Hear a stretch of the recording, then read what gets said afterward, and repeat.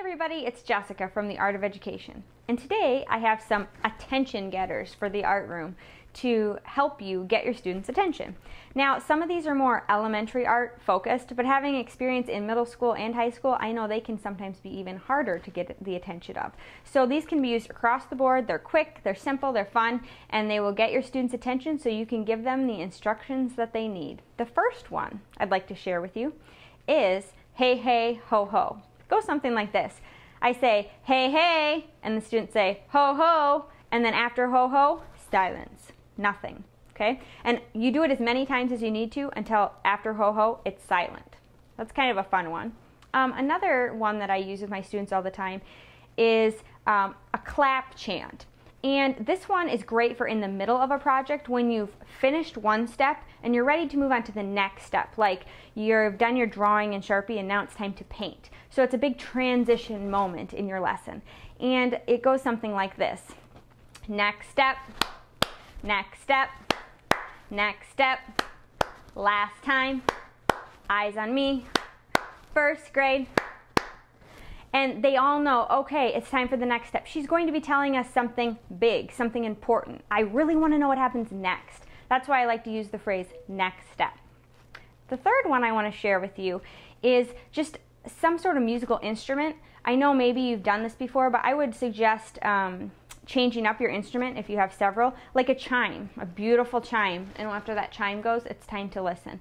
Um, I use a bell, like a little desk bell, ding, or even a um, like a block and a hammer, click, click. Some sort of instrument to activate their brain in a different way and a sound that says to them, oh, it's time to look up and see what's going on. The fourth attention getter I want to share with you is um, counting down. Now, this is a really popular tactic, and sometimes I use it, sometimes I don't, but a teacher recently told me that some classes need counting down. Basically, you're just saying, I need your eyes and ears in five, four, three, two, one, and I go to zero. And counting down helps some students who have a really hard time settling, they're, they're way up here, helps them give them that time to, okay, put their pencil down, think about it. Okay, now I'm gonna look up. And sometimes it seems like the simplest of tricks, but it works. For certain classes, you use counting down. You can count from 10, from 3 to 5, whatever your students happen to need at that time. Um, the last one I want to share is um, something that I learned from whole brain teaching, which I've done some posts about and I can link here for you. And it's just class, and they respond with yes. But it's not just as simple as saying class, yes. It uses the whole brain. So you need to experiment with voices, which I do all the time in all of these tactics. I, I change my voice because, again, it activates that brain in, in their thinking that makes them say, stop, oh, something's different. So you could go, class, and they could all respond with yes. Or you could say class and they'll say yes.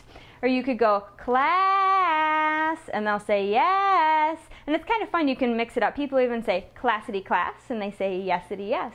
And I know your students will really like this and it will also help them um, activate that brain to to listen to to get ready for something different a transition because we know transitions can be really hard for students so anything we can do like these attention getters can help our students um, deal with those transitions better and get ready to learn and listen to our instruction so we can teach them all the wonderful art things that we have to share so I hope you use these attention getters. Maybe you have some more in the comments you'd like to share with us that you use to get your students' attention.